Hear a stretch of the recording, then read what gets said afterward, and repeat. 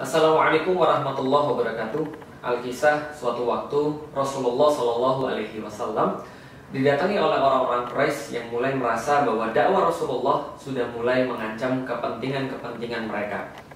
Mereka lantas mendatangi Abu Talib lalu mengajak Abu Talib untuk melobi, untuk mengajak kepada Rasulullah apa sih sebenarnya yang Rasulullah inginkan.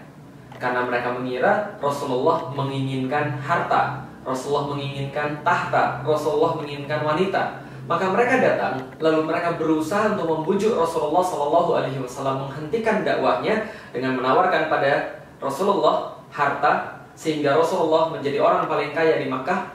Rasulullah ditawari juga tahta, sehingga beliau menjadi orang yang paling tinggi kedudukannya dan juga ditawari wanita mana pun yang Rasulullah inginkan.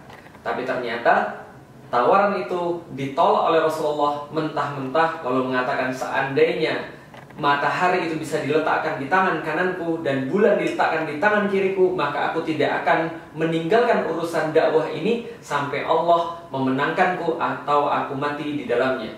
Jawaban Rasul sangat tegas sekali, tapi orang-orang Quraisy pun tidak hilang akal. Maka mereka mencoba untuk menyimpangkan niatan awal Rasulullah, mencoba menyimpangkan ketaatan. Mereka menawarkan, "Ya Rasulullah, bagaimana kalau seandainya kita gantian saja? Kami akan menyembah Tuhanmu selama satu tahun dan engkau menyembah Tuhan kami selama satu tahun." Alias mencampur adukan antara ibadah yang satu dengan ibadah yang lain. Maka saat itulah menjadi sebab atau asbabun nuzul daripada surat Al-Kafirun. Ya ayyuhal kafirun la a'budu ma ta'budun wa la antum a'biduna ma a'bud wa la ana a'bidum ma abattum wa la antum a'biduna ma a'bud lakum dinukum waliyadin. Maka turunlah surat Al-Kafirun yang berisi bahwa ini prinsip seorang muslim bahwasanya seorang muslim tidak menyembah apa yang disembah oleh orang-orang kafir dan orang-orang kafir pun tidak menyembah apa yang disembah oleh orang-orang muslim. Dan prinsip yang terakhir adalah prinsip toleransi yang diberikan oleh Allah Subhanahu wa taala, lakum dinukum waliyadin. Bagimu agamamu dan bagiku agamaku.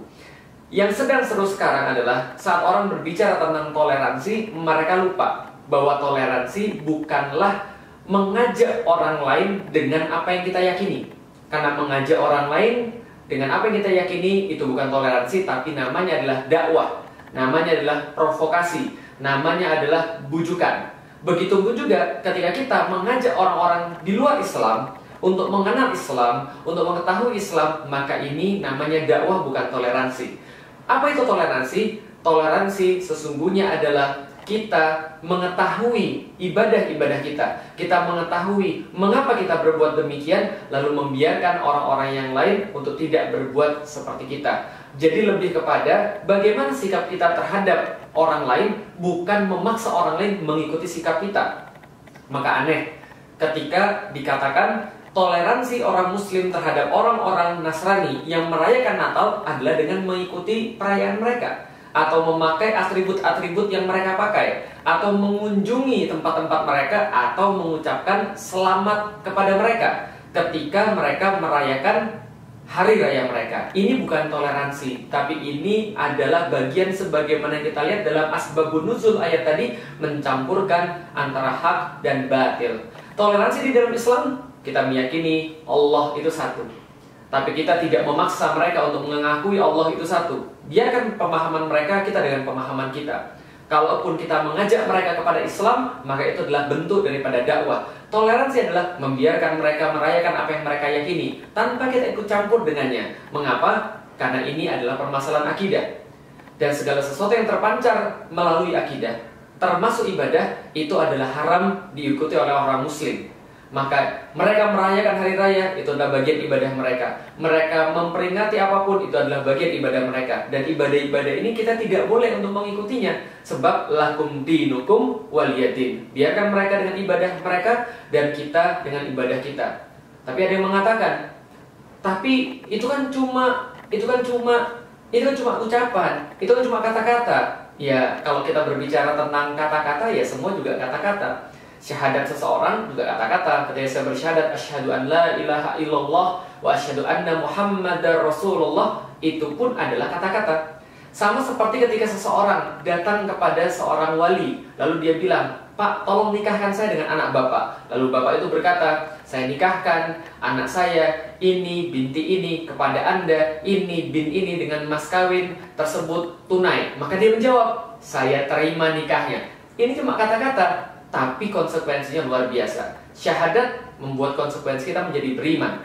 Maka mengucapkan kata saya terima itu menyebabkan kita punya konsekuensi kita sudah menikah. Ketika kita mengucapkan saya talak kamu misalnya kepada istri kita, maka ini konsekuensinya adalah ada juga. Maka setiap perkataan punya konsekuensi. Maka kita tidak boleh memandang rendah hanya karena kata-kata tadi. Karena kenapa? Pembeda antara iman dan kafir itu juga kata-kata juga.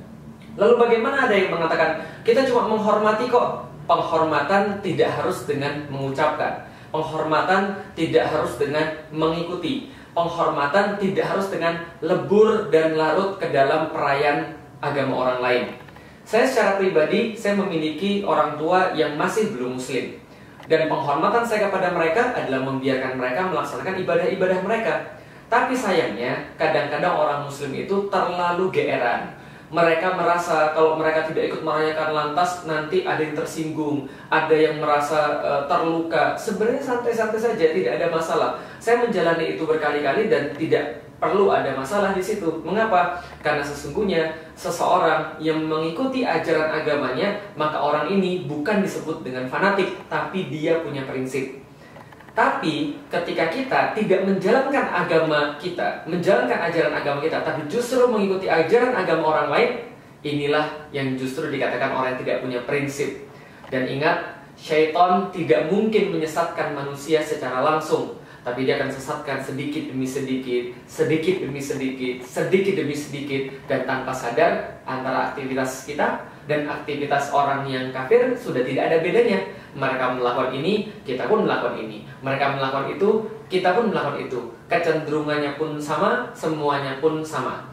Nah, lalu bagaimana ketika kita seolah-olah terpaksa harus mengucapkan? Sebenarnya tidak. Akan selalu ada jalan kalau bagi orang-orang yang mau mencari jalan. Insya Allah, Seandainya pun mereka tersinggung karena kita tidak mau mengucapkan selamat kepada mereka dalam hari raya mereka, biarkan saja. Itulah bagian daripada lakum dinukum waliyadin. Dan kalau mereka tersinggung juga, berarti pertanyaannya adalah siapa yang tidak toleransi?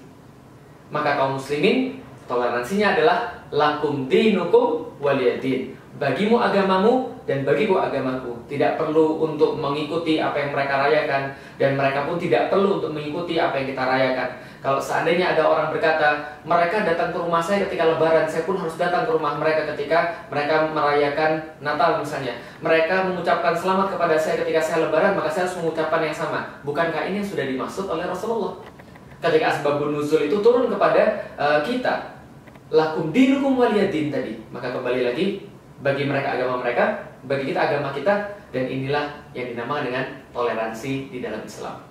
Assalamualaikum warahmatullahi wabarakatuh.